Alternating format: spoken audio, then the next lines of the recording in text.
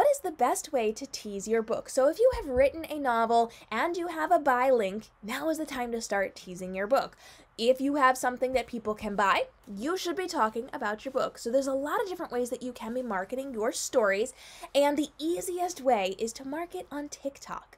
Now, you want to make sure that you are marketing on all the social platforms in a free organic capacity. Yes, you can pay for ads, and you should be. You should be paying for ads on places like TikTok and Instagram and Facebook and YouTube, and you can pay for them on places like BookBub and all those things. Those are going to help you for sure. But I don't want you to have to spend a ton of money on this. I want you to be leveraging organic content. So you know I 7x'd my book sales in a single month just from creating TikTok videos. And there's lots of ways that you can be doing this. So you can jump on and you can have a conversation. You can hold up your book cover and you can talk about your book. You can show the behind the scenes. You can do all sorts of things. Another really great way to get attention is to actually talk about the publishing industry if you are established. I'm talking you have multiple books out and you've proven track record of being successful in this industry. Please don't do this if you only have one or two books out.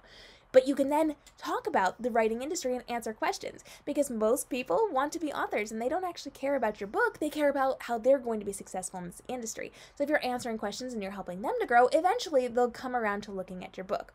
Now, with that in mind, you also want to be showing off your book. So you're going to pay attention to things like BookTok and Bookstagram and see what's popular. Take pretty photos of your books and put them on Bookstagram take videos and put them on BookTok and Bookstagram.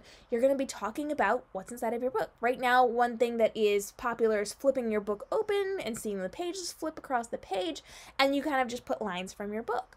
You can talk about your book, you can show things off. There are POVs or point of views where you can jump on a TikTok and you can spin this little sob story about, oh, well, I I was with this guy, and then I discovered that my baby's doctor is the guy that I was with, and like all the things. And you can spin the sob story and then be like, to find out what happens, read the book. That was really popular last year.